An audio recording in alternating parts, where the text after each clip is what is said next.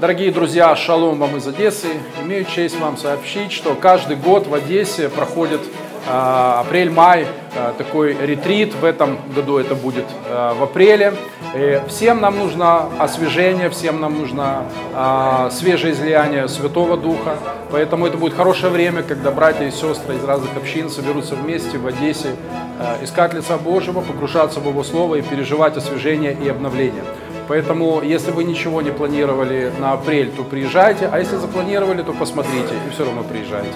Пусть Бог вас благословит. До встречи в городе. Аминь. Одессу!